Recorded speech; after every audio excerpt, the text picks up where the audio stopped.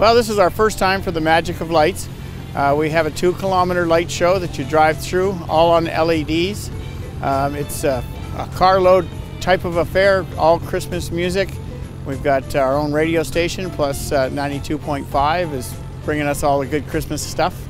So it's a, it's a beautiful drive through, different nativity scenes, 12 days of Christmas, all that kind of stuff. Uh, so it's, it's a really good show. There's about 15 kilometers of lights that are strung throughout the facility. So uh, that's a great show and it's uh, something that everyone and every family should be out. We've had really good crowds to start off. We just started on Friday and we go all the way to January the 6th. So they're, they're um, actually on our new road course.